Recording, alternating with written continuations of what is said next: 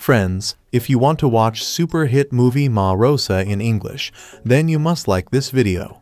If you are visiting our channel for the first time, don't forget to subscribe to our channel.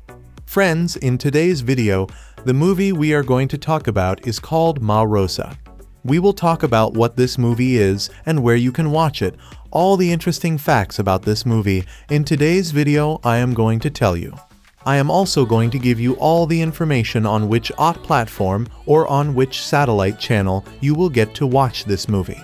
Also, we will talk in detail about the technical department, music department, pre-production, filming, post-production, budget, box office collection of this film.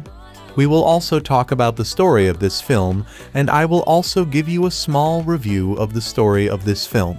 Apart from this, we will discuss about the facts of this film, storyline, star cast, actor's performance in the film, and which character has played which role. That's why I request you friends to watch this video till the end, so let's start the video. Ma Rosa is a 2016 Filipino drama film directed by Brillante Mendoza. It was selected to compete for the Palme d'Or at the 2016 Cannes Film Festival. At Cannes, Jaclyn Jose won the award for Best Actress. It was selected as the Filipino entry for the Best Foreign Language Film at the 89th Academy Awards, but it was not nominated. Movie plot Rosa is married to Nestor Julio Diaz, with whom she has three children. Rosa's family runs a sari-sari store in a neighborhood in Manila. The income from the small convenience store business alone isn't enough to meet the family's daily needs, so illegal drugs, particularly ice or crystal meth, are also sold at Rosa's store. One day, police officers arrest Rosa and Nestor for selling drugs and ask them for bail money or a bribe for the couple's release. Rosa's children, left on their own to deal with the struggles of daily life, find a way to free their detained parents. Cast Jaclyn Jose as Rosa Reyes, Julio Diaz as Nestor Reyes, Baron Geisler as Sumpay, Jomari Angeles as Erwin Reyes, Neil Ryan Sese as Olivares, Mercedes Cabral as Linda, Andi Eigenmann as Raquel Reyes, Mark Anthony Fernandez as Castor, Felix Rocco as Jackson Reyes, Mon Confiado as Sanchez, Maria Isabel Lopez as Tilda, Christopher King as Jomar. Production Director Brillante Mendoza decided to make the film to tackle the issue of small-scale drug selling in the Philippines which he says is really happening in the country and described the situation as alarming. Mendoza noted that the concept of corruption which is a subject of the film appeals to a worldwide audience since he says that corruption is happening in many different countries on a different scale. Ma Rosa was originally titled Palit Ulo, the film was shot in Mandaluyong during the rainy season of 2015 and was supported by French distributor firm Film Distribution. Critical reception. The film holds 78% rating on Rotten Tomatoes. Maggie Lee of Variety reviewed the film and said, boasting a simple, coherent plot shot with real-time, handheld verismo, it's a work of understated confidence that will not disappoint his festival acolytes, but probably won't win many new converts. Peter Bradshaw of The Guardian stated that Ma Rosa is made with control and clarity, a narrative purpose which is held on to despite an apparently aimless docu style and a clear sense of jeopardy.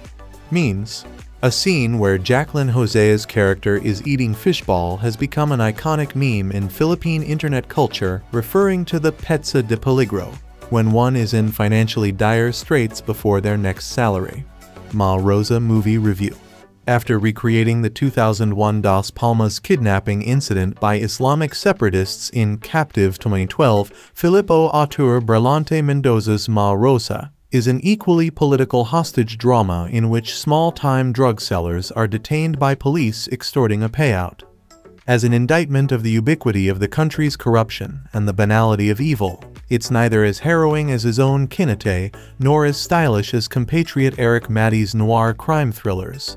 Still, as in most of the director's repertoire, he portrays working-class family relations with unpretentious warmth. Boasting a simple, coherent plot shot with real-time, handheld verismo, it's a work of understated confidence that will not disappoint his festival acolytes, but probably won't win many new converts. Crafted with input from screenwriting guru Armando Bing Lao, who collaborated with Mendoza on Serbis and Kinatay. The structure of Troy Espiritu's script harks back to the hyper-realism of Slingshot, the director's last film to portray the sprawling urban slum of Metro Manila. A decade after that feature was made, his latest outing still adheres to Lao's theories of setting a story in a unified location, within a time frame not exceeding a few days.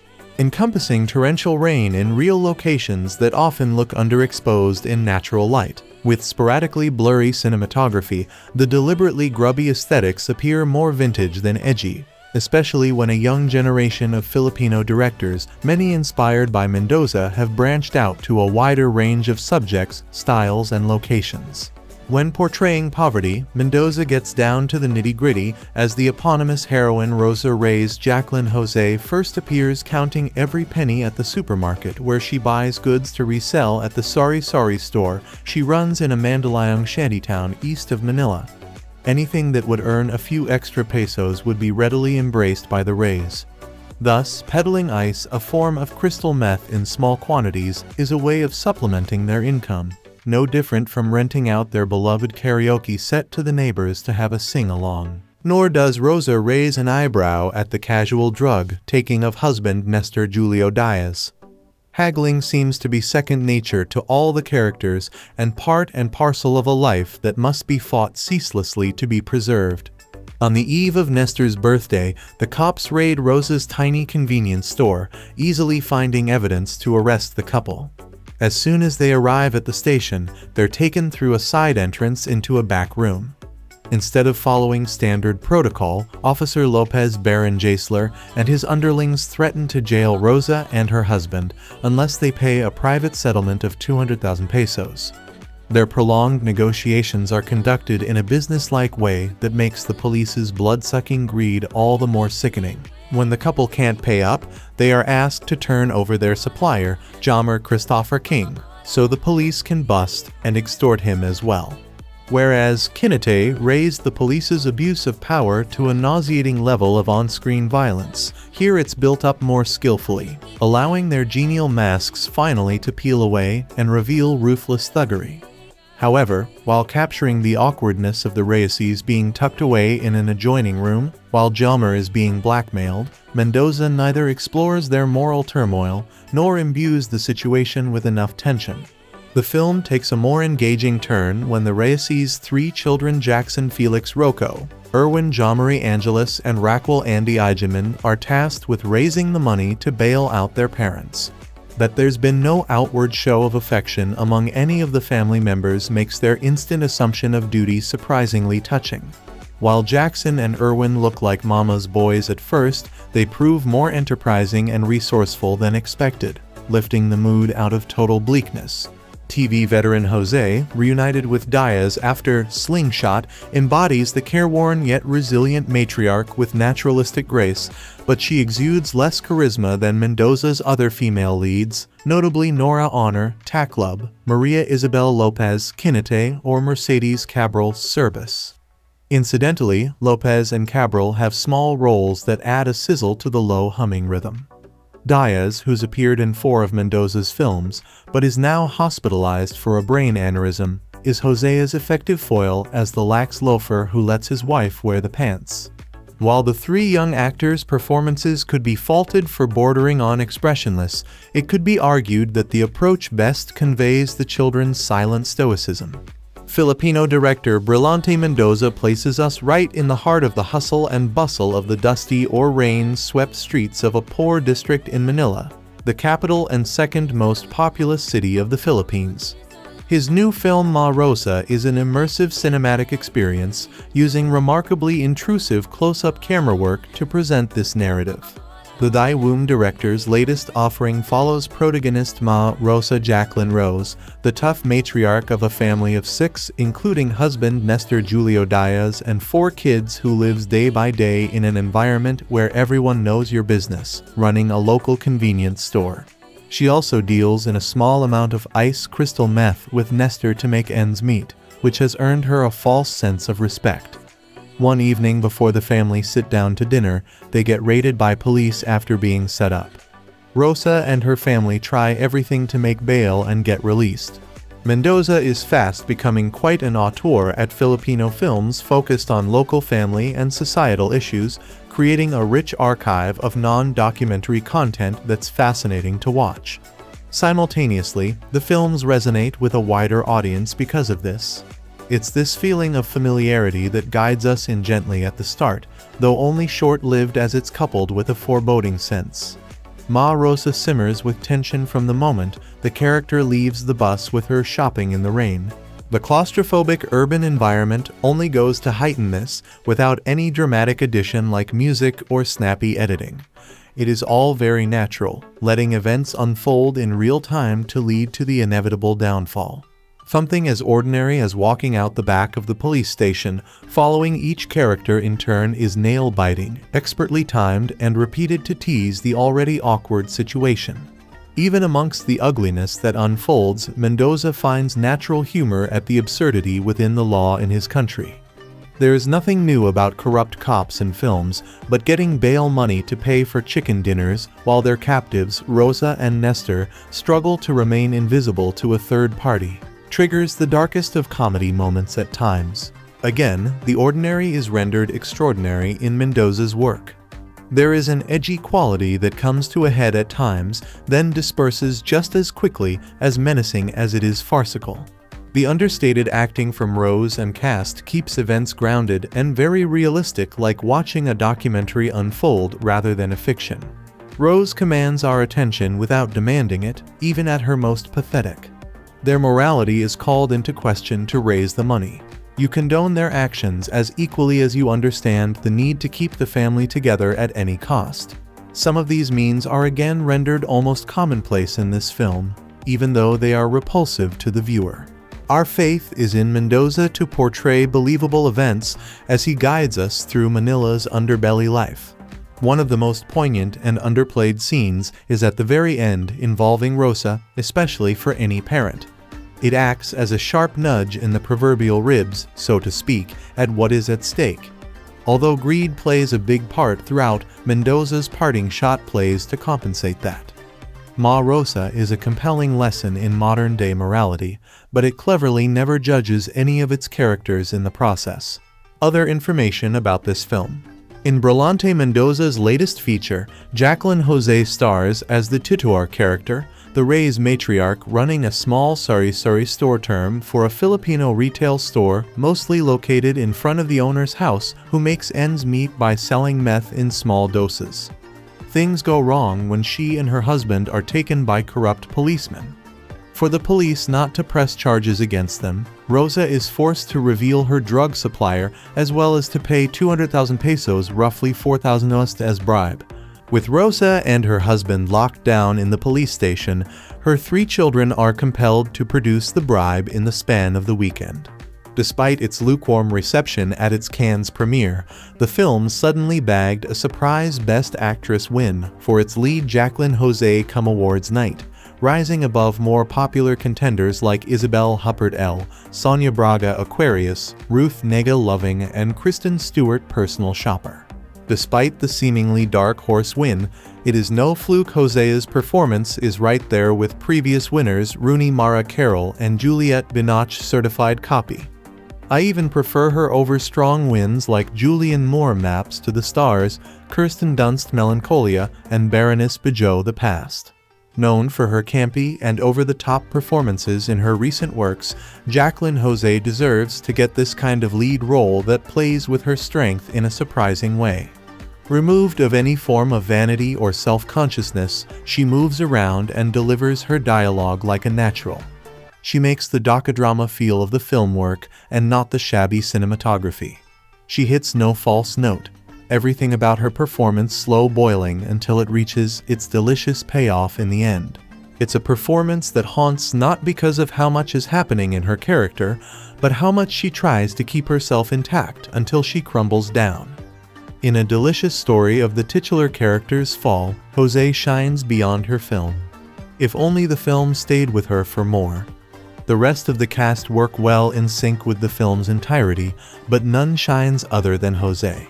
As with Mendoza's other features, one of its most evident successes is building a tangible milieu where everything comes to life, whether it be the rural life in Tawi Tawi, thy womb, or the constricted captivity inside a traveling vehicle Kinatay. Inching in details of the characters' impoverished lives and their wayward means to survive serves the nuance in bringing them into a non-judgmental light. The discomfort in watching this mostly by the aforementioned cinematography somehow works in the context of the film-going experience, together with its concise editing, atmospheric music by the ever-reliable and frequent Mendoza collaborator Teresa Barrozo, and haunting sound design. However, two things are holding me back from being totally won over by this film. Firstly, while the film's first half brims with palpable tension that is breathtaking in execution and pacing, its uneven structure in the second half somewhat distracts the film from its overall power. While the first half invests on Rosa's plight as a struggling mother, once she was jailed, the film decides to take the route of following her three children in pursuit of getting their bribe money. This would have been the logical route to take given the narrative's turn of events, but this also served the film its own disadvantages. Veering away from the character we empathized for the first half is probably not the smartest choice. Though the family's overall plight and desperation is effectively depicted, the film throws away its potential to let the audience stay with Jaclyn Jose, the film's most potent asset. She is so good and effective as the lead character, she deserved to at least be seen more at the film's second half. There is also the possibility of exploring the character's psyche, especially Rosa's, and that would have been a deeper exploration of the themes. Alas, the film focuses on the external experience of the characters. That's an observation, not really a mistake. Here comes my second qualm, the ending. Without spoiling the ending, the already iconic fishball scene is probably what secured Jose's Best Actress win at Cannes. It's an enthralling actressing moment that serves the film its final emotional punch, a delicious display of how raw and real acting in film could get. Here, Jose gives it all. In quietness, she throws away any sense of artifice that brings out the rawness in this drama, this might probably be the single crowning moment of her career, a scene that packs power, proving Jose's strengths as an actress. Until the film overdoes the message by staying on its very final shot way too long. I wish the film had the confidence to stay on Jose's face and use it as the final image that we see because frankly, her shot while eating could have been the powerful ending we needed. Alas, the film went too long in stating its message by showing another shot. True, we're talking about a single shot, but when you have the film's strongest scene, and it's in the very ending, you wouldn't want to ruin it by overstaying. If you would notice, almost half of my review is all about how great Jaclyn Jose. This is mainly because aside from Jose, this is middle-tier Mendoza. I still think his best film was Thy Womb while Captive and Kinatay are stronger outings than this one. But so as not to take away anything from the film, this film has its evident strengths. In terms of its Oscar prospects, I do think that while Ma Rosa stands a better chance as one of the more high-profile films from the 85 submissions accepted by the Academy, this year has its more known contenders that might drown Ma Rosa's buzz. I'm not going to discuss whether Ma Rosa will fit the Academy's taste, because they have done some surprising choices in this category 2010's Dogtooth immediately comes to mind so it's never safe to just conclude. Here's hoping for the best though. Not a huge amount happens in Ma Rosa, the relentless new film from Filipino director Brillante Mendoza, which premieres this week in competition at Cannes. In present-day Manila, a woman and her husband are arrested for dealing methamphetamines and taken to the police station for interrogation before rounding up their three children who, in turn, must collect the sufficient sum of money to bail them out. It's a bit of a slog, not least in the first half, but it's also the kind of film that seeps into the viewer in the minutes and hours and days afterwards. Returning to the style and locale that brought him international acclaim with Kinatay in 2009, Mendoza shoots it like a pseudo-documentary, employing erratic, grainy handheld camera work and relatively few cuts. Critics often say he's an uncompromising director. It's easy to see why. Jaclyn Jose plays Rosa, the titular matriarch and a popular story owner in one of the poorest neighborhoods in the Filipino capital. Her husband's a bit of a degenerate. We first find him getting high on his own supply. The couple sling meth from their tiny convenience store by slipping small bags into packs of cigarettes. Ma Rosa, you got any ice? is frequently heard out of shot throughout. The store gets raided when a local user rats her out to the police. Rosa and her man are arrested and taken to the station, where bribery, threats, and extortion await. The corruption is rampant. Rosa offers the cops the name of one of her suppliers, but it becomes apparent that she herself had been the scapegoat of an earlier arrest. The men are working their way up the food chain, it seems, and pilfering whatever they can along the way. They find 150,000 pesos on her dealer, but greedily decide they want 50,000 more, so Rosa's children are brought in to make up the difference. They will go to various humiliating lengths to do so. Taking place over roughly 24 hours, the viewer might be reminded somewhat of High Noon or the similarly social realist, although fundamentally more Western and middle-class two days, one night. The Dardenne brothers made sure the audience was aware of the legwork Marion Cotillard's character was putting in in that particular film. Here, Mendoza drives that home even more so. The film's most strenuous scenes are accompanied by abrasive ambient electronic music, though there is a subtle but distinct sonic shift as soon as Rosa's kids get involved. The film doesn't exactly let off here to the contrary, in fact, but we do encounter something that, to this point, had failed to register Hope. Mendoza asks a great deal of his audience. Indeed, while the director's aesthetic offers the experience of really being there, you can almost taste the humidity in every bead of sweat. It does so at the expense of cognitive spatial awareness, and more crucially perhaps, the close-up. We're asked to empathize with Rosa from the get-go despite barely being able to make out whatever anguish she's been suffering. Mendoza will rectify this late on in an emotionally earth-shattering final sequence, the type that lingers with you like a faint cry for help. Ma Rosa is a film about survival, of course, but also one with defiant faith in the warmth of lower-class communities, even if it leaves us with the question of just how long that warmth can survive. More details. A couple that moonlights as small-time drug dealers from their tiny Manila convenience store and the duo's children are confronted with gangrenous police corruption in Ma Rosa, the latest gritty slice of life film from prolific Filipino director Brillante Mendoza last year's Taklub. Not as gorgeously cinematic as his first competition entry in Cannes, 2008's Serbis, nor as intense and dark as his second Palmy Hopeful and Best Director winner. Kinatay, this third competition entry needs to lean heavily on its story and characters to keep audiences engaged. However, Troy Espiritu's plot-driven screenplay and Mendoza's preference for a gritty, documentary-like style mean that the final result is neither as deep nor as resonant as it could have been. That said, Ma Rosa is an otherwise accessible art house item that can only benefit from the Cannes competition stamp of approval. Ma Rosa is Rosa Reyes Jaclyn Jose, a slightly fubsy, no-nonsense kind of woman who is first seen shopping for enormous quantities of instant noodles with her teenage son, Erwin Jomari Angeles. Judging by the fit she throws at the checkout counter, because they don't have any coins left for her change, money is tight. That's probably why, besides those noodles, she sells small quantities of drugs on the side with her husband Julio Diaz, another Mendoza regular from their corner store in Mandaluyong, a sprawling city that's part of Greater Manila.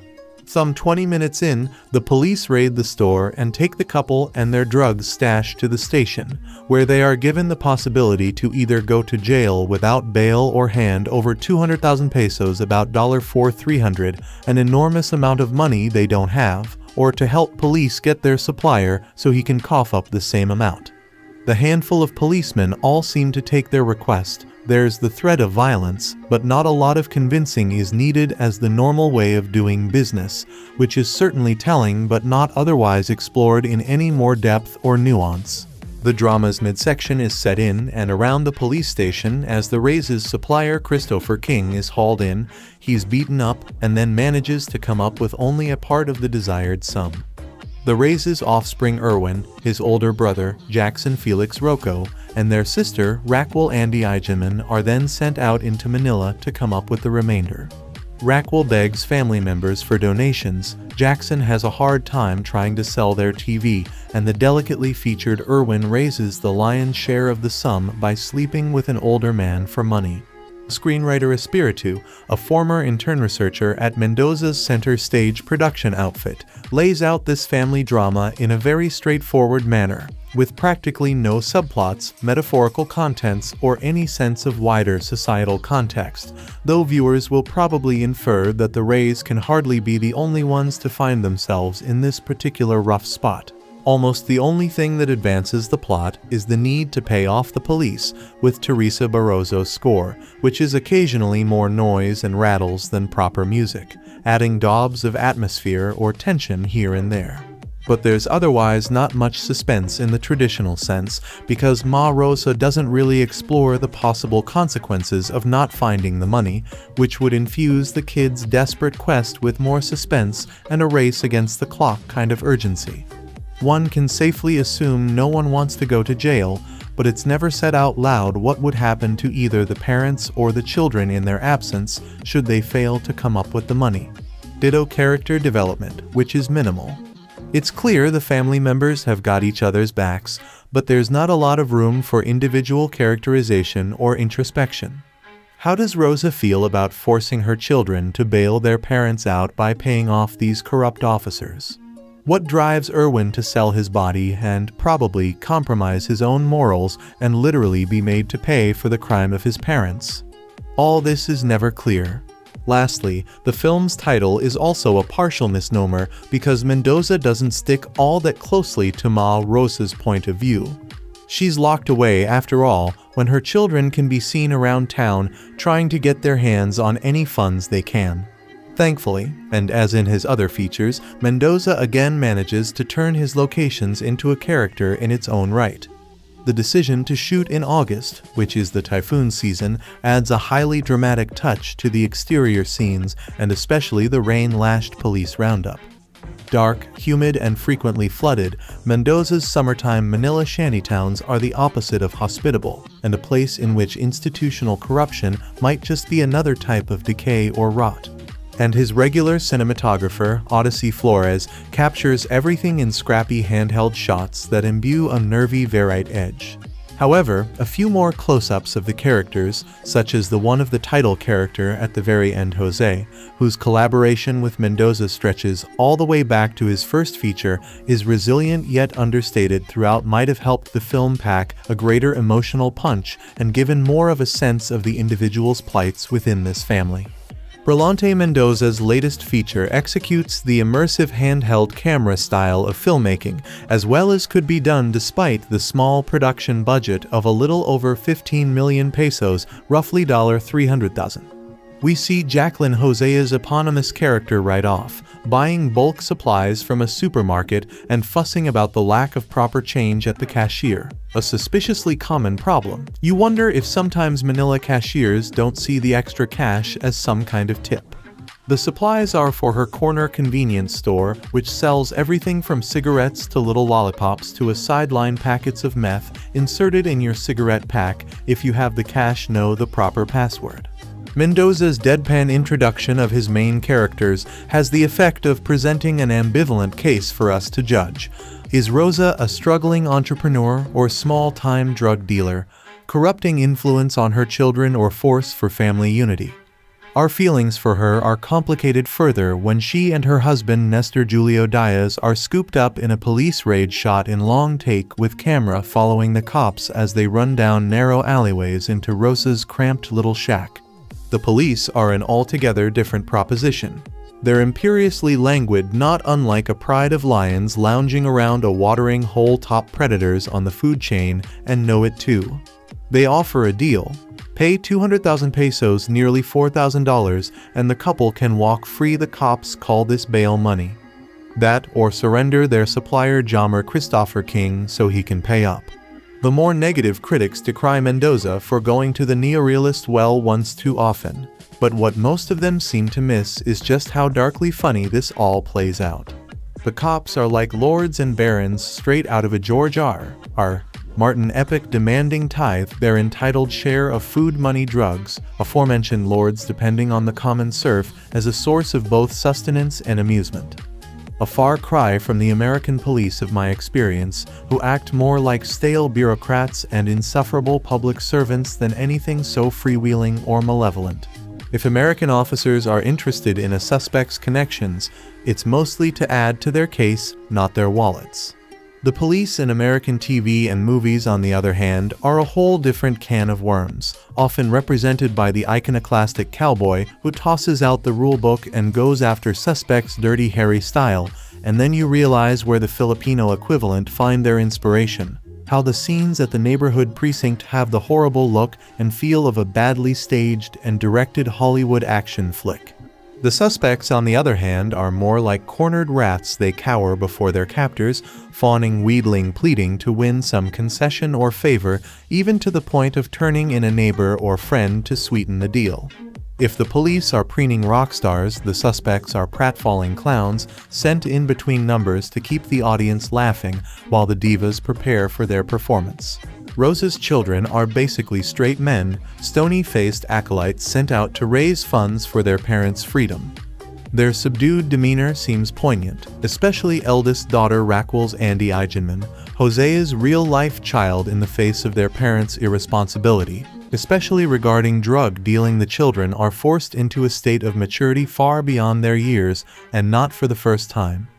In these youths' faces you see the weary resignation of kids who have long recognized the need to pick up after themselves, often after their parents too.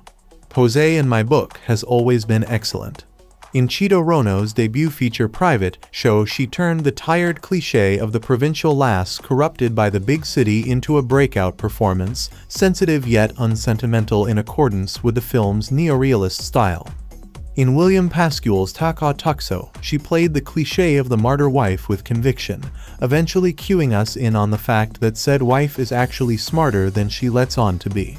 By the time of this film Jose has matured into mother roles and presents the cliché of the quietly forceful family matriarch with deceptive effortlessness. You don't see her acting you just see her, a fictional character fully formed and realized and walking across the screen. Diaz, a longtime friend and colleague of Jose provides excellent foil as Rosa's lackadaisical husband Nestor. He really only comes to life when wheeling and dealing with the cops, otherwise he'd just rather hang back and let matters take their natural course, usually in a downward spiral. Mendoza has been an avid supporter of President Duterte, a believer in the chief executive's so-called war on drugs. Paradoxically, the film released about the same time as he was elected has gained relevance in the wake of this protracted struggle of some 14 months, some 15 if you count from the date of elections, the killings started even before he took office. Low-level drug dealers possess more humanity in this film than the present administration has been willing to grant them and the cruel, corrupt system of palit ulo head swapping, the film's original title of holding a suspect his wife his relative hostage till ransom is paid or someone higher up is caught so rampant in the previous administration seems relatively benign compared to the ongoing campaign of extrajudicial killings, which in recent weeks has escalated to the stabbing of teenagers. In effect Mendoza's earlier work intentionally or not seems like a subtly rendered yet eloquent rebuke against the regime of murder and brutality we are seeing today. Ma Rosa is a 2016 Filipino drama film directed by Brillante Mendoza. It was selected to compete for the Palme d'Or at the 2016 Cannes Film Festival. At Cannes, Jaclyn Jose won the award for Best Actress. It was selected as the Filipino entry for the Best Foreign Language Film at the 89th Academy Awards, but it was not nominated. Movie plot Rosa is married to Nestor Julio Diaz, with whom she has three children. Rosa's family runs a sari-sari store in a neighborhood in Manila. The income from the small convenience store business alone isn't enough to meet the family's daily needs, so illegal drugs, particularly ice or crystal meth, are also sold at Rosa's store. One day, police officers arrest Rosa and Nestor for selling drugs and ask them for bail money or a bribe for the couple's release.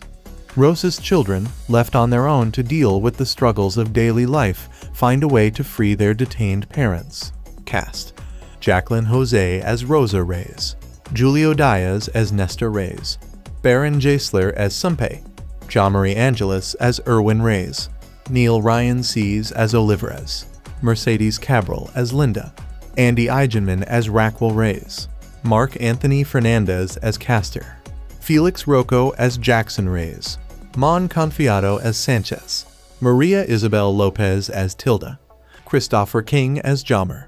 Production Director Brillante Mendoza decided to make the film to tackle the issue of small-scale drug selling in the Philippines which he says is really happening in the country and described the situation as alarming.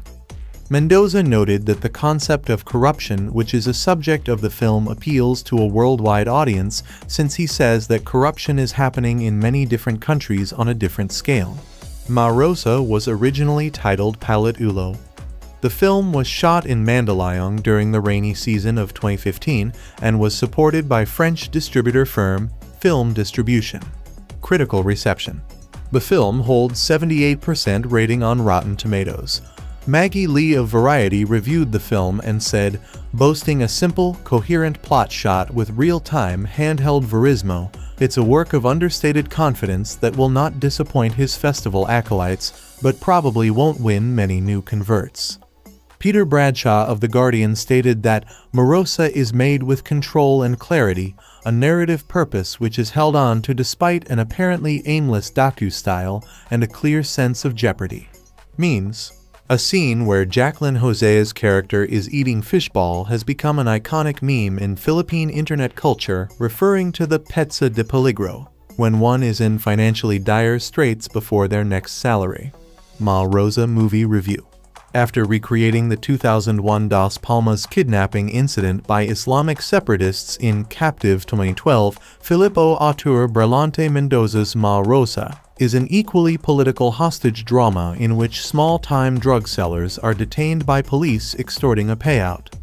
As an indictment of the ubiquity of the country's corruption and the banality of evil, it's neither as harrowing as his own Kinatay, nor as stylish as compatriot Erik Matti's noir crime thrillers. Still, as in most of the director's repertoire, he portrays working-class family relations with unpretentious warmth, boasting a simple, coherent plot shot with real-time, handheld verismo. It's a work of understated confidence that will not disappoint his festival acolytes, but probably won't win many new converts crafted with input from screenwriting guru Armando Bing Lao, who collaborated with Mendoza on Serbis and Kinatay. The structure of Troy Espiritu's script harks back to the hyper-realism of Slingshot, the director's last film to portray the sprawling urban slum of Metro Manila.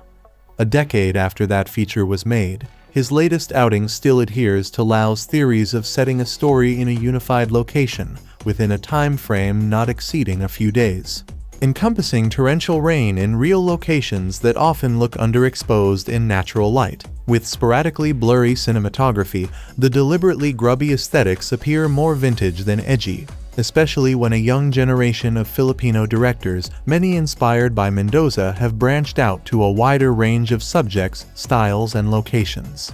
When portraying poverty, Mendoza gets down to the nitty-gritty as the eponymous heroine Rosa Reyes Jaclyn Jose first appears counting every penny at the supermarket where she buys goods to resell at the Sari Sari store she runs in a Mandaluyong shantytown east of Manila. Anything that would earn a few extra pesos would be readily embraced by the Reyes. Thus, peddling ice, a form of crystal meth in small quantities, is a way of supplementing their income no different from renting out their beloved karaoke set to the neighbors to have a sing-along. Nor does Rosa raise an eyebrow at the casual drug taking of husband Nestor Julio Diaz. Haggling seems to be second nature to all the characters and part and parcel of a life that must be fought ceaselessly to be preserved. On the eve of Nestor's birthday, the cops raid Rosa's tiny convenience store, easily finding evidence to arrest the couple. As soon as they arrive at the station, they're taken through a side entrance into a back room. Instead of following standard protocol, Officer Lopez Baron Geisler and his underlings threaten to jail Rosa and her husband unless they pay a private settlement of 200,000 pesos. Their prolonged negotiations are conducted in a business-like way that makes the police's blood-sucking greed all the more sickening. When the couple can't pay up, they are asked to turn over their supplier, Jomar Christopher King, so the police can bust and extort him as well. Whereas Kinatay raised the police's abuse of power to a nauseating level of on-screen violence, here it's built up more skillfully, allowing their genial masks finally to peel away and reveal ruthless thuggery. However, while capturing the awkwardness of the Reyeses being tucked away in an adjoining room, while Jomar is being blackmailed, Mendoza neither explores their moral turmoil nor imbues the situation with enough tension. The film takes a more engaging turn when the Reyeses' three children Jackson Felix Roco, Erwin Jomari Angeles and Raquel Andi Eigenmann are tasked with raising the money to bail out their parents that there's been no outward show of affection among any of the family members makes their instant assumption of duty surprisingly touching. While Jackson and Erwin look like mama's boys at first, they prove more enterprising and resourceful than expected, lifting the mood out of total bleakness. TV veteran Jose, reunited with Diaz after Slingshot, embodies the careworn yet resilient matriarch with naturalistic grace, but she exudes less charisma than Mendoza's other female leads, notably Nora Aunor, Taklub, Maria Isabel Lopez Kinatay, or Mercedes Cabral Serbis. Incidentally, Lopez and Cabral have small roles that add a sizzle to the low humming rhythm. Diaz, who's appeared in four of Mendoza's films, but is now hospitalized for a brain aneurysm, is Jose's effective foil as the lax loafer who lets his wife wear the pants. While the three young actors' performances could be faulted for bordering on expressionless, it could be argued that the approach best conveys the children's silent stoicism. Filipino director Brillante Mendoza places us right in the heart of the hustle and bustle of the dusty or rain-swept streets of a poor district in Manila, the capital and second most populous city of the Philippines. His new film Ma Rosa is an immersive cinematic experience using remarkably intrusive close-up camera work to present this narrative.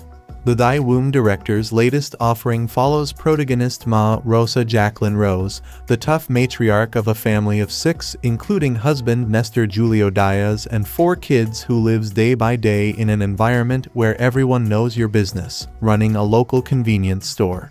She also deals in a small amount of ice crystal meth with Nestor to make ends meet, which has earned her a false sense of respect. One evening before the family sit down to dinner, they get raided by police after being set up. Rosa and her family try everything to make bail and get released. Mendoza is fast becoming quite an auteur at Filipino films focused on local family and societal issues, creating a rich archive of non-documentary content that's fascinating to watch. Simultaneously, the films resonate with a wider audience because of this. It's this feeling of familiarity that guides us in gently at the start, though only short-lived as it's coupled with a foreboding sense. Ma Rosa simmers with tension from the moment the character leaves the bus with her shopping in the rain. The claustrophobic urban environment only goes to heighten this without any dramatic addition like music or snappy editing. It is all very natural, letting events unfold in real time to lead to the inevitable downfall. Something as ordinary as walking out the back of the police station, following each character in turn is nail-biting, expertly timed and repeated to tease the already awkward situation. Even amongst the ugliness that unfolds, Mendoza finds natural humor at the absurdity within the law in his country. There is nothing new about corrupt cops in films, but getting bail money to pay for chicken dinners while their captives, Rosa and Nestor, struggle to remain invisible to a third party triggers the darkest of comedy moments at times. Again, the ordinary is rendered extraordinary in Mendoza's work. There is an edgy quality that comes to a head at times, then disperses just as quickly as menacing as it is farcical. The understated acting from Rose and cast keeps events grounded and very realistic like watching a documentary unfold rather than a fiction. Rose commands our attention without demanding it, even at her most pathetic. Their morality is called into question to raise the money. You condone their actions as equally as you understand the need to keep the family together at any cost. Some of these means are again rendered almost commonplace in this film, even though they are repulsive to the viewer. Our faith is in Mendoza to portray believable events as he guides us through Manila's underbelly life. One of the most poignant and underplayed scenes is at the very end involving Rosa, especially for any parent. It acts as a sharp nudge in the proverbial ribs, so to speak, at what is at stake. Although greed plays a big part throughout, Mendoza's parting shot plays to compensate that. Ma Rosa is a compelling lesson in modern-day morality, but it cleverly never judges any of its characters in the process. Other information about this film. In Brillante Mendoza's latest feature, Jaclyn Jose stars as the titular character, the Reyes matriarch running a small sari-sari store term for a Filipino retail store mostly located in front of the owner's house who makes ends meet by selling meth in small doses. Things go wrong when she and her husband are taken by corrupt policemen. For the police not to press charges against them, Rosa is forced to reveal her drug supplier as well as to pay 200,000 pesos roughly 4,000 ost as bribe. With Rosa and her husband locked down in the police station, her three children are compelled to produce the bribe in the span of the weekend. Despite its lukewarm reception at its Cannes premiere, the film suddenly bagged a surprise Best Actress win for its lead Jaclyn Jose come awards night rising above more popular contenders like Isabelle Huppert Elle, Sonia Braga Aquarius, Ruth Negga Loving, and Kristen Stewart Personal Shopper. Despite the seemingly dark horse win, it is no fluke Jose's performance is right there with previous winners Rooney Mara Carol and Juliette Binoche Certified Copy. I even prefer her over strong wins like Julianne Moore Maps to the Stars, Kirsten Dunst Melancholia, and Bérénice Bejo The Past. Known for her campy and over-the-top performances in her recent works, Jaclyn Jose deserves to get this kind of lead role that plays with her strength in a surprising way. Removed of any form of vanity or self-consciousness, she moves around and delivers her dialogue like a natural. She makes the docudrama feel of the film work and not the shabby cinematography.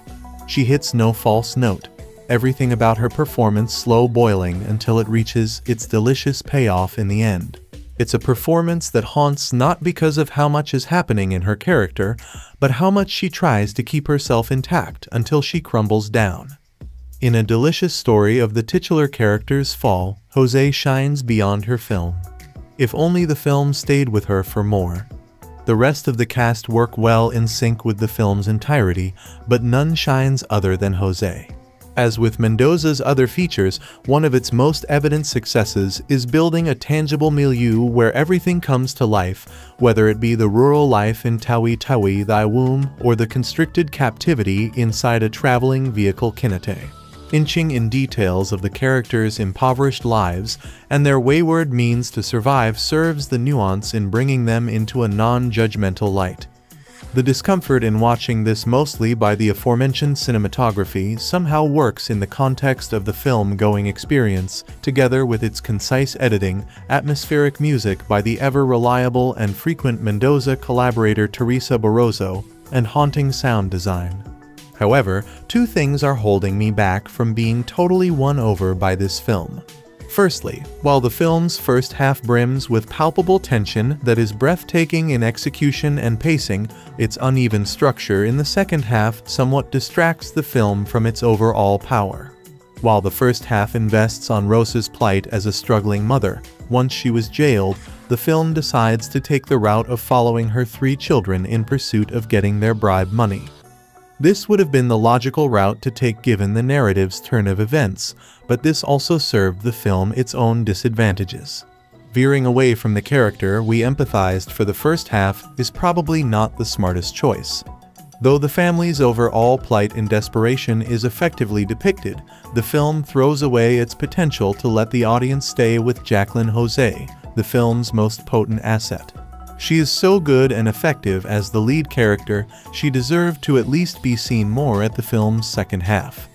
There is also the possibility of exploring the character's psyche, especially Rosa's, and that would have been a deeper exploration of the themes. Alas, the film focuses on the external experience of the characters. That's an observation, not really a mistake. Here comes my second qualm, the ending. Without spoiling the ending, the already iconic fishball scene is probably what secured Jose's Best Actress win at Cannes. It's an enthralling actressing moment that serves the film its final emotional punch, a delicious display of how raw and real acting in film could get. Here, Jose gives it all. In quietness, she throws away any sense of artifice that brings out the rawness in this drama. This might probably be the single crowning moment of her career, a scene that packs power, proving Jose's strengths as an actress until the film overdoes the message by staying on its very final shot way too long. I wish the film had the confidence to stay on Jose's face and use it as the final image that we see because frankly, her shot while eating could have been the powerful ending we needed. Alas, the film went too long in stating its message by showing another shot. True, we're talking about a single shot, but when you have the film's strongest scene, and it's in the very ending, you wouldn't want to ruin it by overstaying. If you would notice, almost half of my review is all about how great Jaclyn Jose. This is mainly because aside from Jose, this is middle-tier Mendoza. I still think his best film was Thy Womb while Captive and Kinatay are stronger outings than this one. But so as not to take away anything from the film, this film has its evident strengths.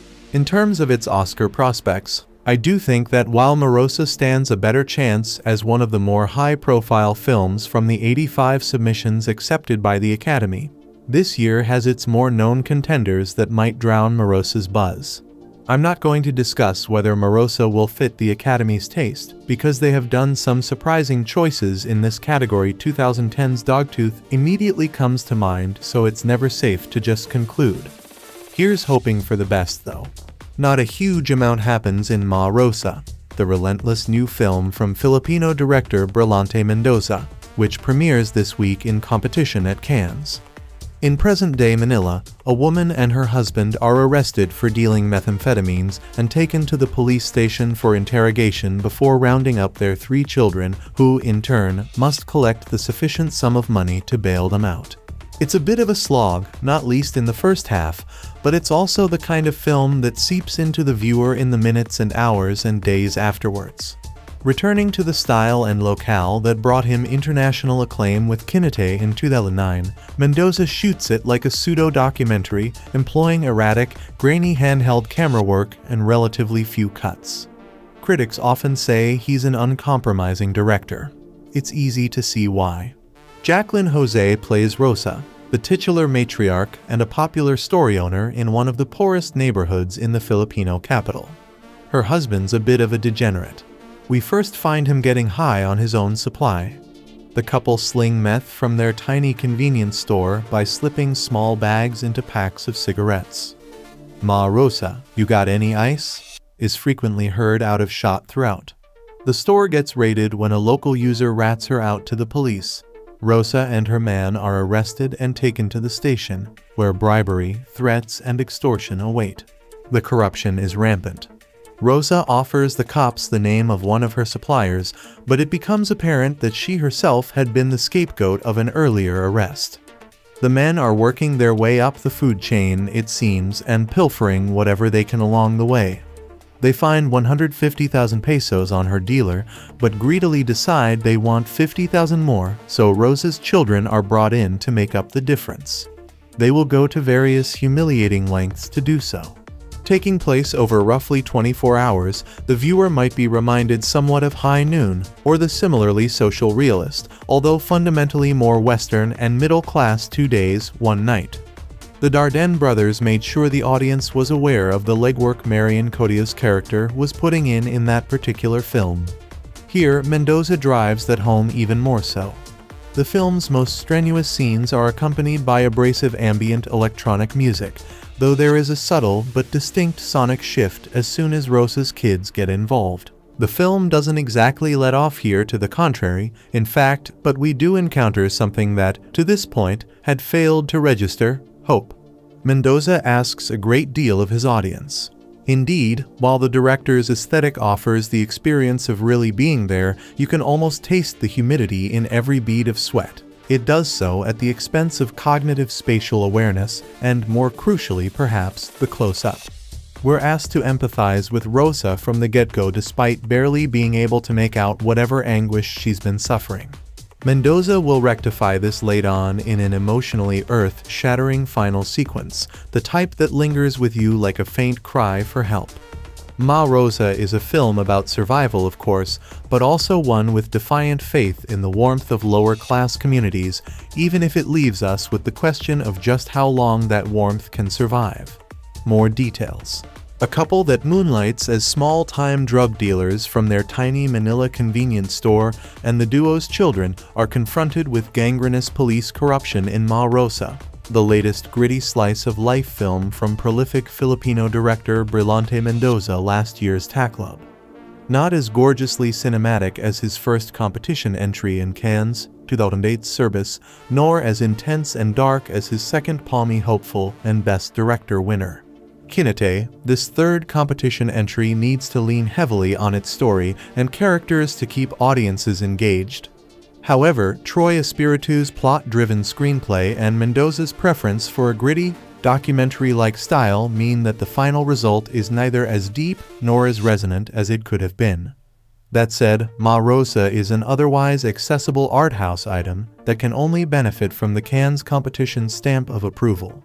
Ma Rosa is Rosa Reyes Jaclyn Jose, a slightly fubsy, no-nonsense kind of woman who is first seen shopping for enormous quantities of instant noodles with her teenage son, Erwin Jomari Angeles. Judging by the fit she throws at the checkout counter, because they don't have any coins left for her change, money is tight. That's probably why, besides those noodles, she sells small quantities of drugs on the side with her husband Julio Diaz, another Mendoza regular from their corner store in Mandaluyong, a sprawling city that's part of Greater Manila. Some 20 minutes in, the police raid the store and take the couple and their drugs stashed to the station, where they are given the possibility to either go to jail without bail or hand over 200,000 pesos about $4,300, an enormous amount of money they don't have, or to help police get their supplier so he can cough up the same amount. The handful of policemen all seem to take their request, there's the threat of violence, but not a lot of convincing is needed as the normal way of doing business, which is certainly telling but not otherwise explored in any more depth or nuance. The drama's midsection is set in and around the police station as the Reyes' supplier Christopher King is hauled in, he's beaten up, and then manages to come up with only a part of the desired sum. The Reyes' offspring Erwin, his older brother, Jackson Felix Roco, and their sister, Raquel Andi Eigenmann, are then sent out into Manila to come up with the remainder.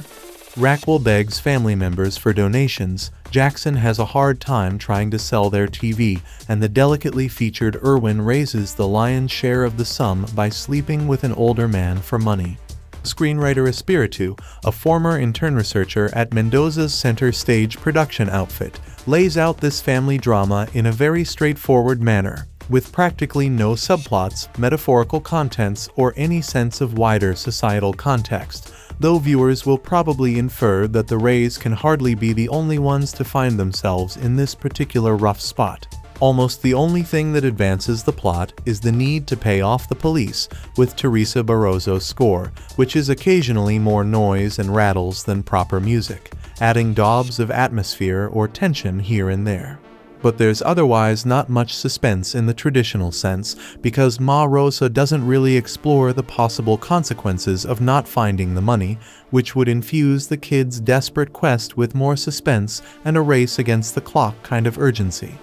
One can safely assume no one wants to go to jail, but it's never said out loud what would happen to either the parents or the children in their absence should they fail to come up with the money. Ditto character development, which is minimal. It's clear the family members have got each other's backs, but there's not a lot of room for individual characterization or introspection. How does Rosa feel about forcing her children to bail their parents out by paying off these corrupt officers? What drives Erwin to sell his body and probably compromise his own morals and literally be made to pay for the crime of his parents? All this is never clear, Lastly, the film's title is also a partial misnomer because Mendoza doesn't stick all that closely to Ma Rosa's point of view. She's locked away after all when her children can be seen around town trying to get their hands on any funds they can. Thankfully, and as in his other features, Mendoza again manages to turn his locations into a character in its own right. The decision to shoot in August, which is the typhoon season, adds a highly dramatic touch to the exterior scenes and especially the rain-lashed police roundup.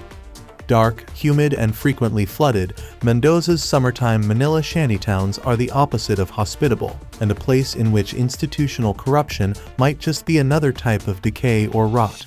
And his regular cinematographer, Odyssey Flores, captures everything in scrappy handheld shots that imbue a nervy Verite edge. However, a few more close-ups of the characters, such as the one of the title character at the very end Jose, whose collaboration with Mendoza stretches all the way back to his first feature, is resilient yet understated throughout might have helped the film pack a greater emotional punch and given more of a sense of the individual's plights within this family. Brillante Mendoza's latest feature executes the immersive handheld camera style of filmmaking, as well as could be done despite the small production budget of a little over 15 million pesos, roughly 300,000.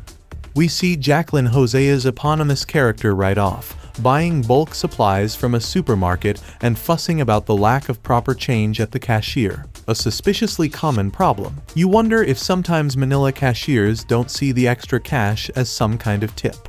The supplies are for her corner convenience store, which sells everything from cigarettes to little lollipops to a sideline packets of meth inserted in your cigarette pack if you have the cash know the proper password. Mendoza's deadpan introduction of his main characters has the effect of presenting an ambivalent case for us to judge, is Rosa a struggling entrepreneur or small-time drug dealer, corrupting influence on her children or force for family unity? Our feelings for her are complicated further when she and her husband Nestor Julio Diaz are scooped up in a police raid shot in long take with camera following the cops as they run down narrow alleyways into Rosa's cramped little shack. The police are an altogether different proposition. They're imperiously languid not unlike a pride of lions lounging around a watering hole top predators on the food chain and know it too. They offer a deal.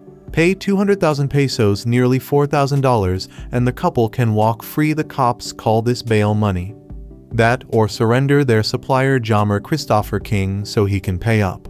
The more negative critics decry Mendoza for going to the neorealist well once too often but what most of them seem to miss is just how darkly funny this all plays out. The cops are like lords and barons straight out of a George R. R.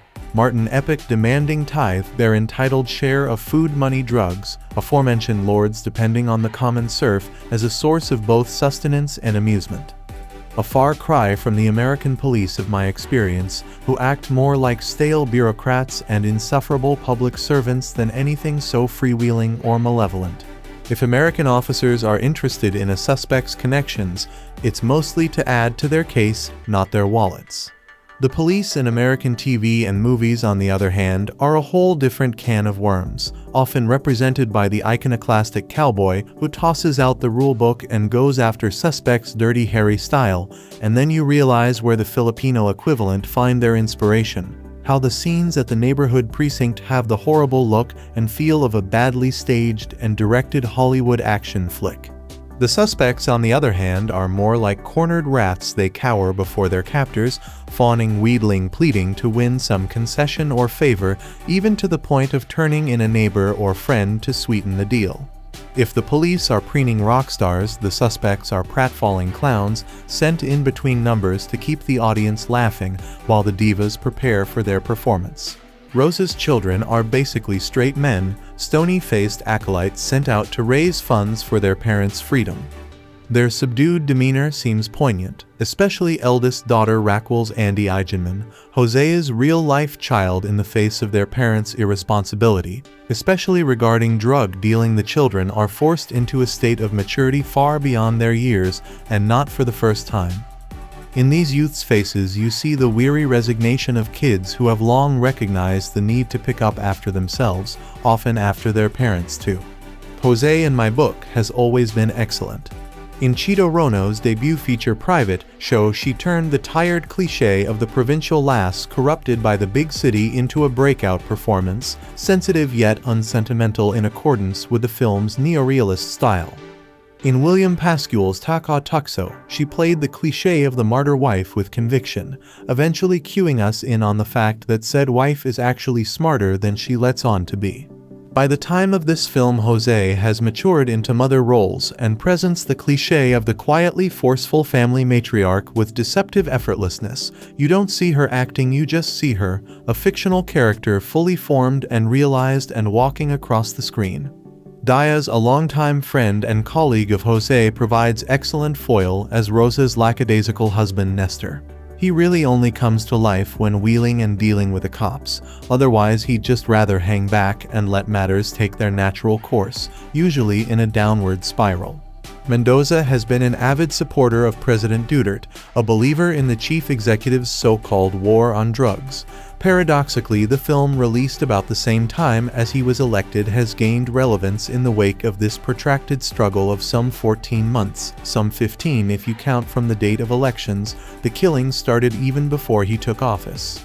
Low-level drug dealers possess more humanity in this film than the present administration has been willing to grant them and the cruel, corrupt system of palit ulo head swapping, the film's original title of holding a suspect his wife his relative hostage till ransom is paid or someone higher up is caught so rampant in the previous administration seems relatively benign compared to the ongoing campaign of extrajudicial killings, which in recent weeks has escalated to the stabbing of teenagers.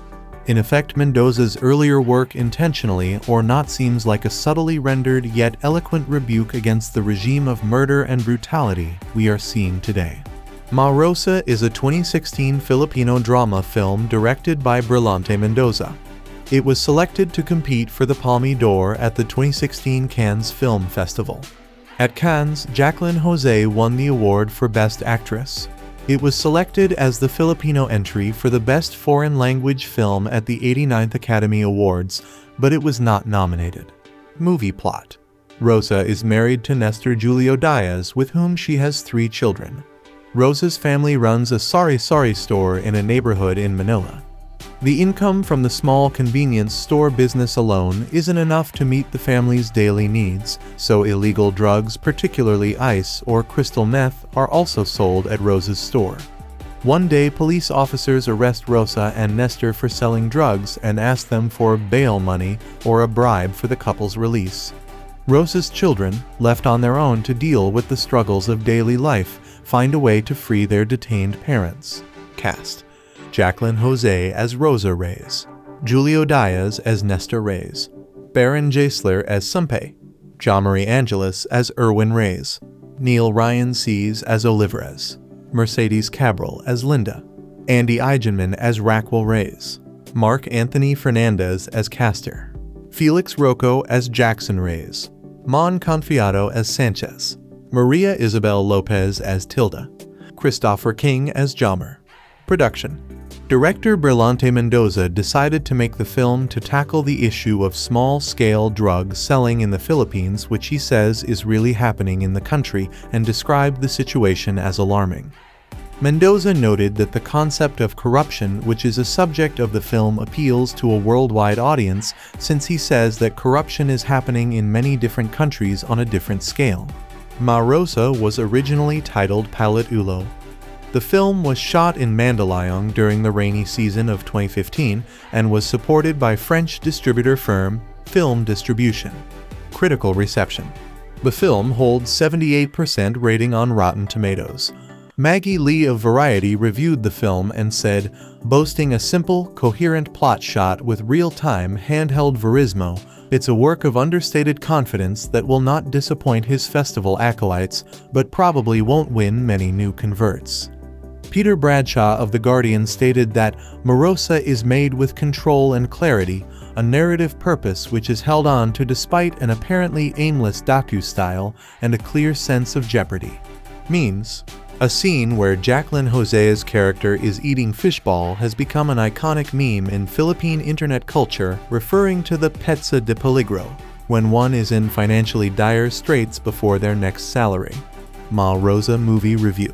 After recreating the 2001 Dos Palmas kidnapping incident by Islamic separatists in Captive 2012, Filippo Artur Brillante Mendoza's Ma Rosa is an equally political hostage drama in which small-time drug sellers are detained by police extorting a payout. As an indictment of the ubiquity of the country's corruption and the banality of evil, it's neither as harrowing as his own Kinatay, nor as stylish as compatriot Erik Matti's noir crime thrillers. Still, as in most of the director's repertoire, he portrays working-class family relations with unpretentious warmth, boasting a simple, coherent plot shot with real-time, handheld verismo. It's a work of understated confidence that will not disappoint his festival acolytes, but probably won't win many new converts crafted with input from screenwriting guru Armando Bing Lao, who collaborated with Mendoza on Serbis and Kinatay, the structure of Troy Espiritu's script harks back to the hyper-realism of Slingshot, the director's last film to portray the sprawling urban slum of Metro Manila.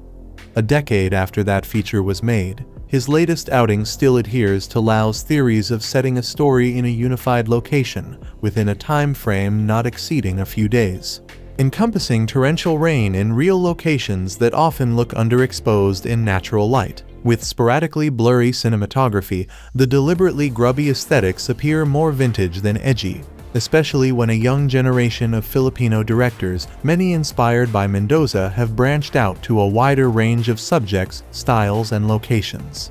When portraying poverty, Mendoza gets down to the nitty-gritty as the eponymous heroine Rosa Reyes Jaclyn Jose first appears counting every penny at the supermarket where she buys goods to resell at the Sari Sari store she runs in a Mandaluyong shantytown east of Manila. Anything that would earn a few extra pesos would be readily embraced by the Reyes. Thus, peddling ice, a form of crystal meth in small quantities, is a way of supplementing their income, no different from renting out their beloved karaoke set to the neighbors to have a sing-along. Nor does Rosa raise an eyebrow at the casual drug taking of husband Nestor Julio Diaz haggling seems to be second nature to all the characters and part and parcel of a life that must be fought ceaselessly to be preserved. On the eve of Nestor's birthday, the cops raid Rosa's tiny convenience store, easily finding evidence to arrest the couple. As soon as they arrive at the station, they're taken through a side entrance into a back room. Instead of following standard protocol, Officer Lopez Baron Geisler and his underlings threaten to jail Rosa and her husband unless they pay a private settlement of 200,000 pesos. Their prolonged negotiations are conducted in a businesslike way that makes the police's blood-sucking greed all the more sickening. When the couple can't pay up, they are asked to turn over their supplier, Jomar Christopher King, so the police can bust and extort him as well whereas Kinatay raised the police's abuse of power to a nauseating level of on-screen violence. Here it's built up more skillfully, allowing their genial masks finally to peel away and reveal ruthless thuggery. However, while capturing the awkwardness of the Reyeses being tucked away in an adjoining room, while Jomar is being blackmailed, Mendoza neither explores their moral turmoil nor imbues the situation with enough tension. The film takes a more engaging turn when the Reyeses' three children Jackson Felix Roco, Erwin Jomari Angeles, and Raquel Andi Eigenmann are tasked with raising the money to bail out their parents. That there's been no outward show of affection among any of the family members makes their instant assumption of duty surprisingly touching. While Jackson and Erwin look like mama's boys at first, they prove more enterprising and resourceful than expected, lifting the mood out of total bleakness. TV veteran Jose, reunited with Diaz after Slingshot, embodies the careworn yet resilient matriarch with naturalistic grace, but she exudes less charisma than Mendoza's other female leads, notably Nora Aunor, Taklub, Maria Isabel Lopez Kinatay, or Mercedes Cabral Serbis. Incidentally, Lopez and Cabral have small roles that add a sizzle to the low humming rhythm. Diaz, who's appeared in four of Mendoza's films, but is now hospitalized for a brain aneurysm, is Jose's effective foil as the lax loafer who lets his wife wear the pants. While the three young actors' performances could be faulted for bordering on expressionless, it could be argued that the approach best conveys the children's silent stoicism. Filipino director Brillante Mendoza places us right in the heart of the hustle and bustle of the dusty or rain-swept streets of a poor district in Manila, the capital and second most populous city of the Philippines. His new film Ma Rosa is an immersive cinematic experience using remarkably intrusive close-up camera work to present this narrative. The Thy Womb director's latest offering follows protagonist Ma Rosa Jacqueline Rose, the tough matriarch of a family of six, including husband Nestor Julio Diaz and four kids who lives day by day in an environment where everyone knows your business, running a local convenience store. She also deals in a small amount of ice crystal meth with Nestor to make ends meet, which has earned her a false sense of respect. One evening before the family sit down to dinner, they get raided by police after being set up. Rosa and her family try everything to make bail and get released. Mendoza is fast becoming quite an auteur at Filipino films focused on local family and societal issues, creating a rich archive of non-documentary content that's fascinating to watch. Simultaneously, the films resonate with a wider audience because of this. It's this feeling of familiarity that guides us in gently at the start, though only short-lived as it's coupled with a foreboding sense. Ma Rosa simmers with tension from the moment the character leaves the bus with her shopping in the rain. The claustrophobic urban environment only goes to heighten this without any dramatic addition like music or snappy editing. It is all very natural, letting events unfold in real time to lead to the inevitable downfall. Something as ordinary as walking out the back of the police station, following each character in turn is nail-biting, expertly timed, and repeated to tease the already awkward situation. Even amongst the ugliness that unfolds, Mendoza finds natural humor at the absurdity within the law in his country. There is nothing new about corrupt cops in films, but getting bail money to pay for chicken dinners while their captives, Rosa and Nestor, struggle to remain invisible to a third party triggers the darkest of comedy moments at times. Again, the ordinary is rendered extraordinary in Mendoza's work. There is an edgy quality that comes to a head at times, then disperses just as quickly as menacing as it is farcical. The understated acting from Rose and cast keeps events grounded and very realistic like watching a documentary unfold rather than a fiction. Rose commands our attention without demanding it, even at her most pathetic. Their morality is called into question to raise the money. You condone their actions as equally as you understand the need to keep the family together at any cost. Some of these means are again rendered almost commonplace in this film, even though they are repulsive to the viewer. Our faith is in Mendoza to portray believable events as he guides us through Manila's underbelly life. One of the most poignant and underplayed scenes is at the very end involving Rosa, especially for any parent. It acts as a sharp nudge in the proverbial ribs, so to speak, at what is at stake. Although greed plays a big part throughout, Mendoza's parting shot plays to compensate that. Ma Rosa is a compelling lesson in modern-day morality, but it cleverly never judges any of its characters in the process. Other information about this film. In Brillante Mendoza's latest feature, Jaclyn Jose stars as the titular character, the Ray's matriarch running a small sari-sari store term for a Filipino retail store mostly located in front of the owner's house who makes ends meet by selling meth in small doses. Things go wrong when she and her husband are taken by corrupt policemen. For the police not to press charges against them, Rosa is forced to reveal her drug supplier as well as to pay 200,000 pesos roughly 4,000 US as bribe.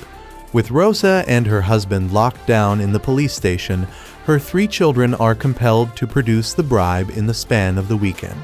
Despite its lukewarm reception at its Cannes premiere, the film suddenly bagged a surprise Best Actress win for its lead Jaclyn Jose come awards night, rising above more popular contenders like Isabelle Huppert Elle., Sonia Braga Aquarius, Ruth Negga Loving, and Kristen Stewart Personal Shopper. Despite the seemingly dark horse win, it is no fluke Jose's performance is right there with previous winners Rooney Mara Carol and Juliette Binoche certified copy. I even prefer her over strong wins like Julianne Moore maps to the stars, Kirsten Dunst Melancholia, and Bérénice Bejo The Past. Known for her campy and over-the-top performances in her recent works, Jaclyn Jose deserves to get this kind of lead role that plays with her strength in a surprising way. Removed of any form of vanity or self-consciousness, she moves around and delivers her dialogue like a natural. She makes the docudrama feel of the film work and not the shabby cinematography. She hits no false note, everything about her performance slow boiling until it reaches its delicious payoff in the end. It's a performance that haunts not because of how much is happening in her character, but how much she tries to keep herself intact until she crumbles down. In a delicious story of the titular character's fall, Jose shines beyond her film. If only the film stayed with her for more. The rest of the cast work well in sync with the film's entirety, but none shines other than Jose. As with Mendoza's other features, one of its most evident successes is building a tangible milieu where everything comes to life, whether it be the rural life in Tawi Tawi, thy womb, or the constricted captivity inside a traveling vehicle Kinatay. Inching in details of the characters' impoverished lives and their wayward means to survive serves the nuance in bringing them into a non-judgmental light. The discomfort in watching this mostly by the aforementioned cinematography somehow works in the context of the film-going experience, together with its concise editing, atmospheric music by the ever-reliable and frequent Mendoza collaborator Teresa Barrozo, and haunting sound design. However, two things are holding me back from being totally won over by this film. Firstly, while the film's first half brims with palpable tension that is breathtaking in execution and pacing, its uneven structure in the second half somewhat distracts the film from its overall power. While the first half invests on Rosa's plight as a struggling mother, once she was jailed, the film decides to take the route of following her three children in pursuit of getting their bribe money.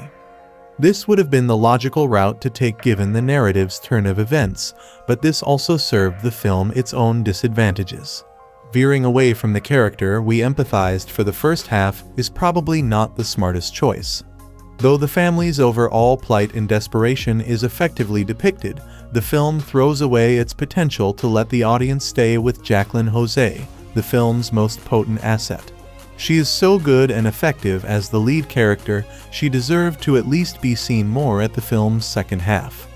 There is also the possibility of exploring the character's psyche, especially Rosa's, and that would have been a deeper exploration of the themes. Alas, the film focuses on the external experience of the characters. That's an observation, not really a mistake. Here comes my second qualm, the ending. Without spoiling the ending, the already iconic fishball scene is probably what secured Jose's Best Actress win at Cannes. It's an enthralling actressing moment that serves the film its final emotional punch, a delicious display of how raw and real acting in film could get. Here, Jose gives it all. In quietness, she throws away any sense of artifice that brings out the rawness in this drama, this might probably be the single crowning moment of her career, a scene that packs power, proving Jose's strengths as an actress. Until the film overdoes the message by staying on its very final shot way too long.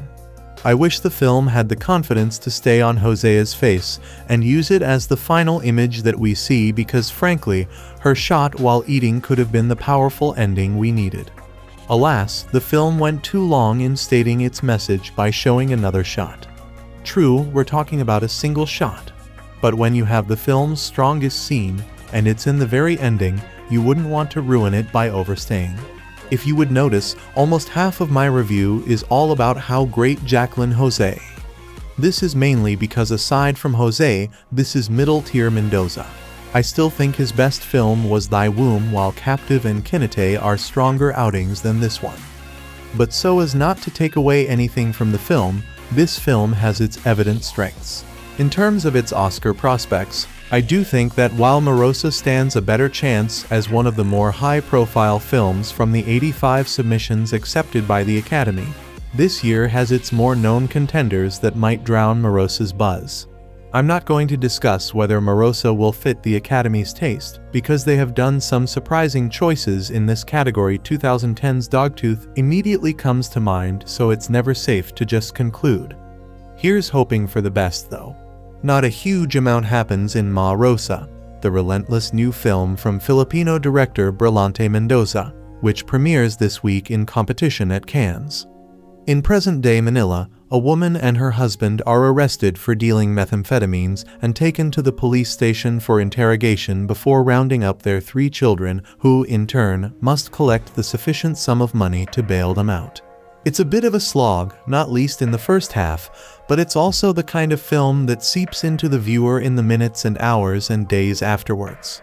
Returning to the style and locale that brought him international acclaim with Kinatay in 2009, Mendoza shoots it like a pseudo-documentary, employing erratic, grainy handheld camera work and relatively few cuts. Critics often say he's an uncompromising director. It's easy to see why. Jaclyn Jose plays Rosa, the titular matriarch and a popular story owner in one of the poorest neighborhoods in the Filipino capital. Her husband's a bit of a degenerate. We first find him getting high on his own supply. The couple sling meth from their tiny convenience store by slipping small bags into packs of cigarettes. Ma Rosa, you got any ice? is frequently heard out of shot throughout. The store gets raided when a local user rats her out to the police, Rosa and her man are arrested and taken to the station, where bribery, threats, and extortion await.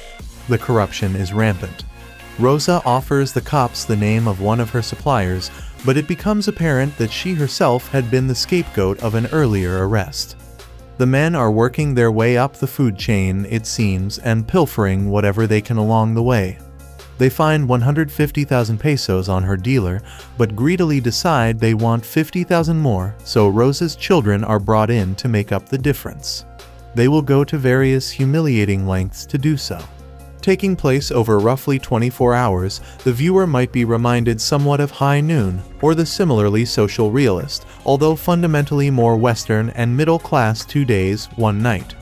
The Dardenne brothers made sure the audience was aware of the legwork Marion Cotillard's character was putting in in that particular film. Here, Mendoza drives that home even more so.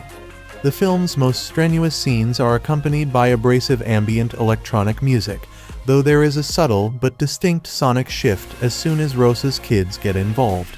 The film doesn't exactly let off here to the contrary, in fact, but we do encounter something that, to this point, had failed to register hope. Mendoza asks a great deal of his audience.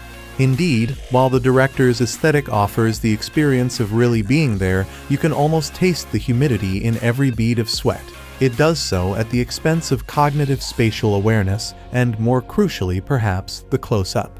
We're asked to empathize with Rosa from the get-go despite barely being able to make out whatever anguish she's been suffering. Mendoza will rectify this late on in an emotionally earth-shattering final sequence, the type that lingers with you like a faint cry for help. Ma Rosa is a film about survival, of course, but also one with defiant faith in the warmth of lower-class communities, even if it leaves us with the question of just how long that warmth can survive. More details.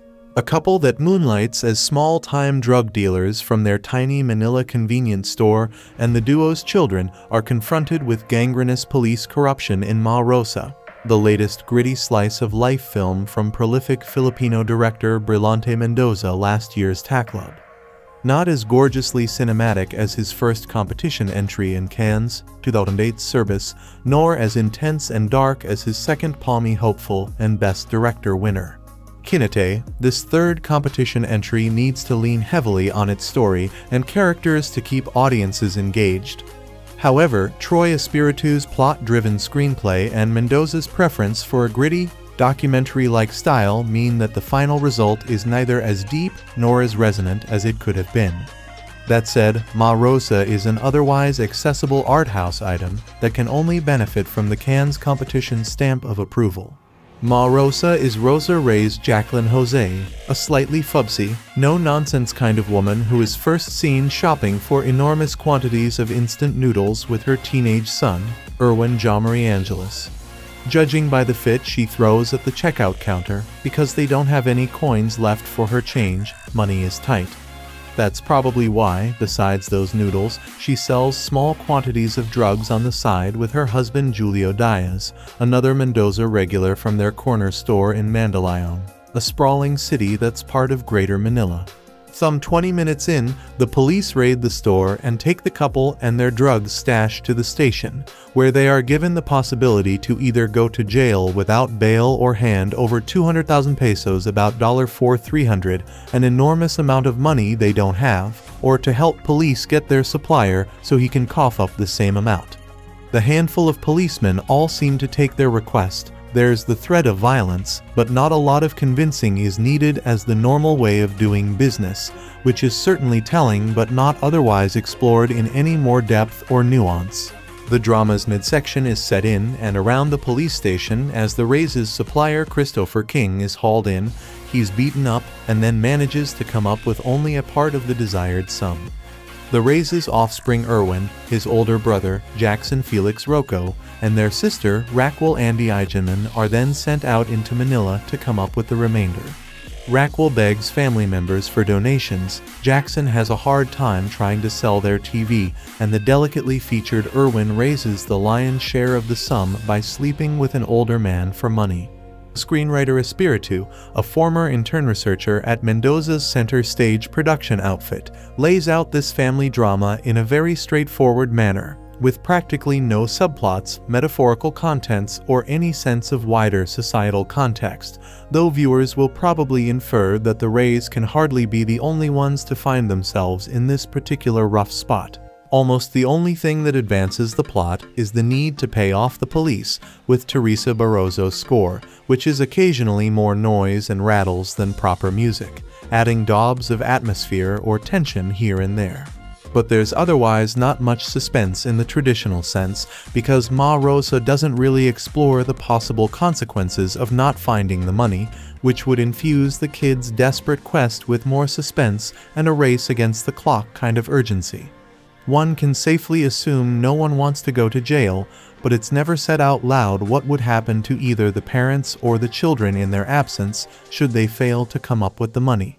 Ditto character development, which is minimal. It's clear the family members have got each other's backs, but there's not a lot of room for individual characterization or introspection. How does Rosa feel about forcing her children to bail their parents out by paying off these corrupt officers?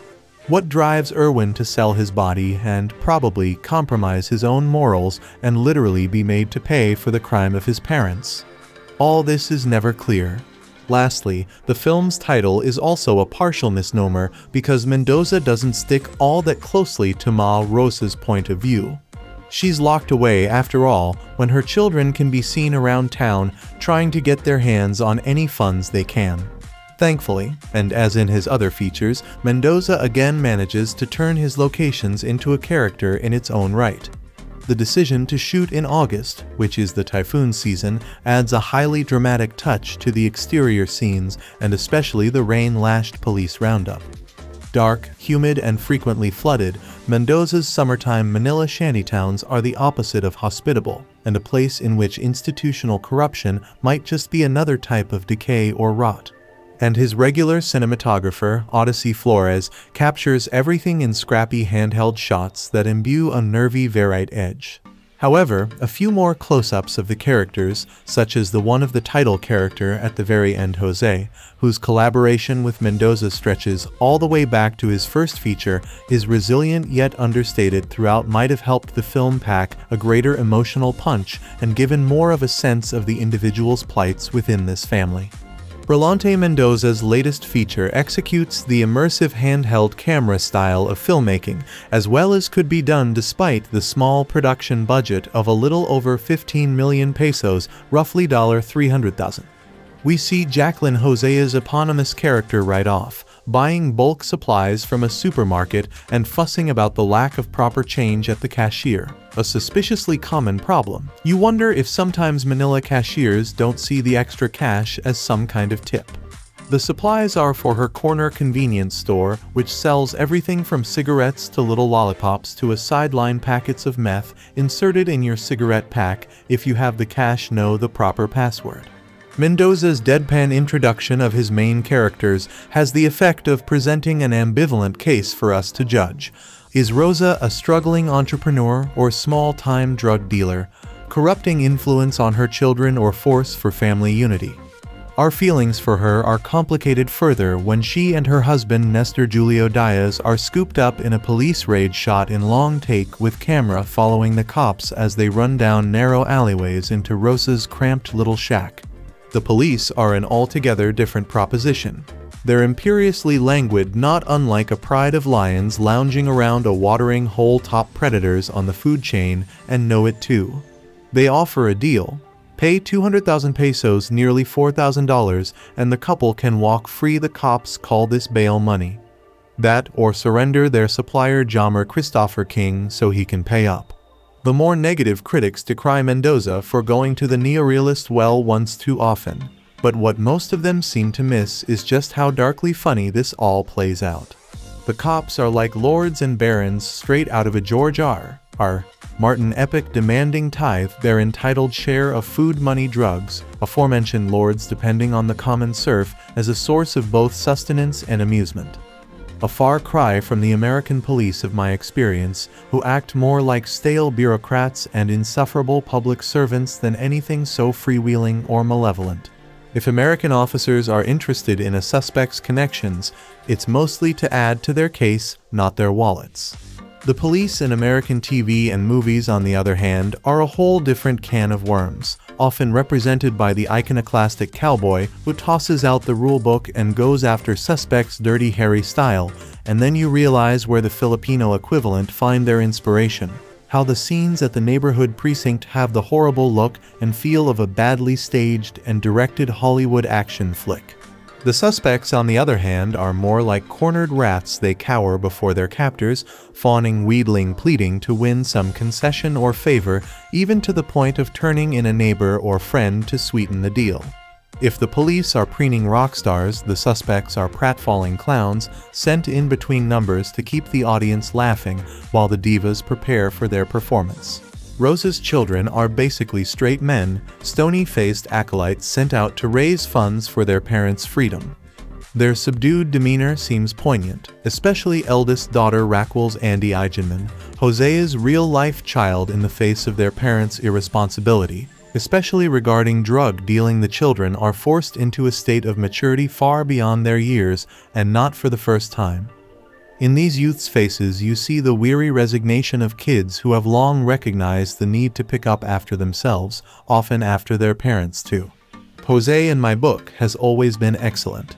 In Chito Roño's debut feature Private show she turned the tired cliché of the provincial lass corrupted by the big city into a breakout performance, sensitive yet unsentimental in accordance with the film's neorealist style. In William Pascual's Takaw Tukso, she played the cliché of the martyr wife with conviction, eventually cueing us in on the fact that said wife is actually smarter than she lets on to be. By the time of this film Jose has matured into mother roles and presents the cliché of the quietly forceful family matriarch with deceptive effortlessness. You don't see her acting, you just see her, a fictional character fully formed and realized and walking across the screen. Diaz, a longtime friend and colleague of Jose, provides excellent foil as Rosa's lackadaisical husband Nestor. He really only comes to life when wheeling and dealing with the cops, otherwise he'd just rather hang back and let matters take their natural course, usually in a downward spiral. Mendoza has been an avid supporter of President Duterte, a believer in the chief executive's so-called war on drugs. Paradoxically, the film released about the same time as he was elected has gained relevance in the wake of this protracted struggle of some 14 months, some 15 if you count from the date of elections, the killings started even before he took office. Low-level drug dealers possess more humanity in this film than the present administration has been willing to grant them and the cruel, corrupt system of palit ulo head swapping, the film's original title of holding a suspect his wife his relative hostage till ransom is paid or someone higher up is caught so rampant in the previous administration seems relatively benign compared to the ongoing campaign of extrajudicial killings, which in recent weeks has escalated to the stabbing of teenagers. In effect, Mendoza's earlier work intentionally or not seems like a subtly rendered yet eloquent rebuke against the regime of murder and brutality we are seeing today. This film directed by Brillante Mendoza, written by Troy Espiritu, produced by Larry Castillo, starring Jaclyn Jose. Cinematography Odyssey Flores. Edited by Diego Marx Dobles. Music by Teresa Barrozo. Production Company Center Stage Productions. Distributed by Solar Pictures. Release dates 18 May 2016 in Cannes, 6 July 2016 in Philippines. Running time 110 minutes. Country Philippines. Language Filipino. So guys, this is the review of Ma Rosa movie and some information about it. How do you like our today's video? Please let us know by commenting, and if you like this video, please like it, share it, and don't forget to subscribe.